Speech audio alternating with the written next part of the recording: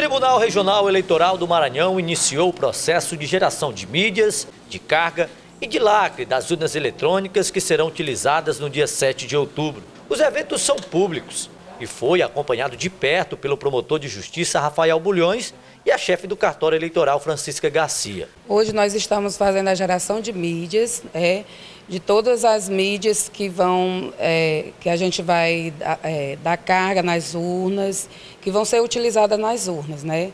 São as mídias de carga, que são aquelas que vão, que a gente chama no popular, inseminar as urnas, com os dados das, da, do, dos eleitores, das sessões e do município. A geração de mídias consiste em copiar os dados dos candidatos, eleitores e demais tabelas, assim como os programas que foram lançados pelo TSE para as mídias, que são esses pendrives. Da carga e lacre significa inserir nas urnas todas as informações dos candidatos que estão concorrendo.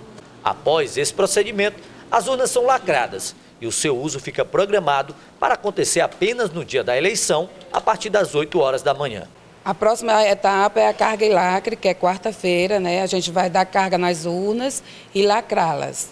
Até a, aí só esperar a eleição, né? Que é a, o transporte das urnas que vão acontecer no sábado, né? Para, para os locais de votação e esperar o dia da eleição. A gente observa que todo esse processo que está sendo realizado aqui está sendo acompanhado de perto também pelo promotor de justiça.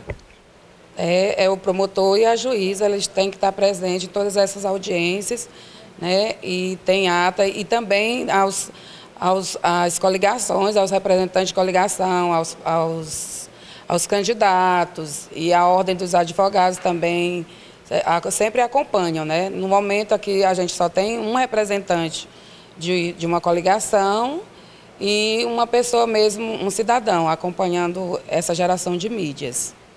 Aí, Paulo André, a gente diretamente aqui do tribunal, acompanhando tudo de perto, agora cabe ao eleitor se preparar também. Então, um detalhe, se você quer ver como está a sua sessão, é, a sua situação eleitoral, pode se dirigir para cá e verificar com o pessoal, ver se está tudo ok, para quando chegar o dia da eleição não ter nenhum imprevisto. Pode falar. Eu queria, na, na oportunidade aqui, falar para os eleitores que em todos os locais de votação, que tem de duas sessões acima, vai ter um administrador de prédio. Esse administrador ele vai estar com uma relação dos locais de votação. Então, quem não, não conseguir encontrar a sua sessão, pode se dirigir a esse administrador, que ele vai dizer onde é que está a sua sessão.